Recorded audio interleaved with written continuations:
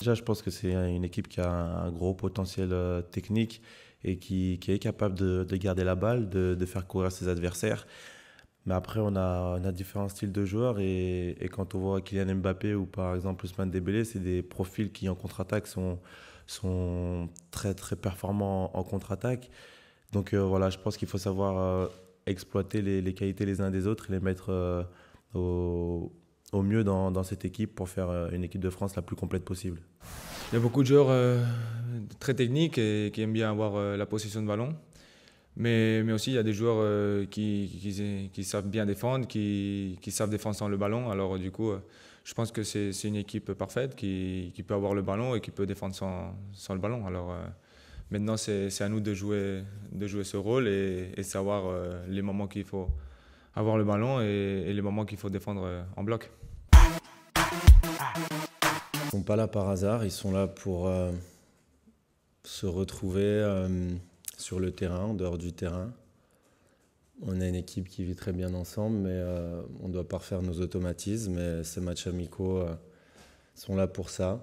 Euh, encore une fois, engranger un maximum de confiance et, vraiment retrouver, se retrouver sur le plan des, automatismes techniques sur le, sur le terrain.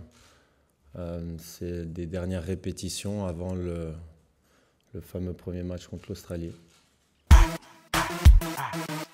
L'avantage d'avoir euh, des jeunes, c'est qu'il euh, y a beaucoup de fougue, d'insouciance, euh, un nouvel élan, je dirais. Après, c'est normal de renouveler les, générations au fil des, ans, bien sûr.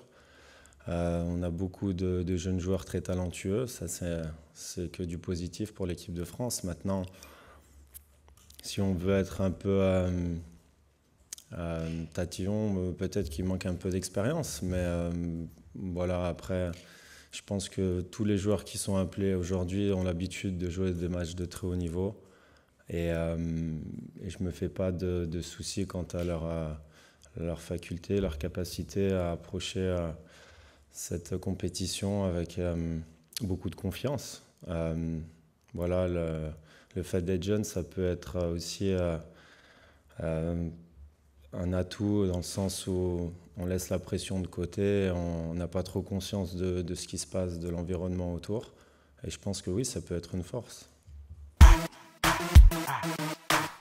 Je suis, un latéral euh, plutôt défensif. Euh, euh, j'ai grandi au poste de défenseur central. Alors au moment qu'ils me mettent à arrière gauche, j'ai plutôt ma naturalisation, c'est plus être défensif qu'offensif.